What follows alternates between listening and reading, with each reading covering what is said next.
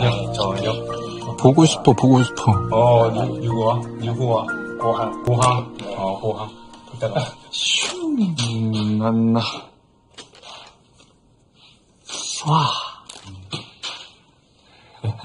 태성아, 비행기 좀 그만 날려. 왜?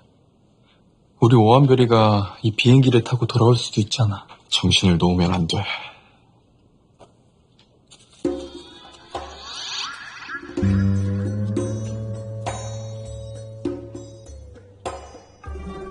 아, 이렇게 오래 호영이를 못 본 적이 없어서. 근데 더 무서운 건 뭔지 알아? 오늘이 하루밖에 안 지났다는 거? 바꿔, 바꾸자. 내가 그거 할게.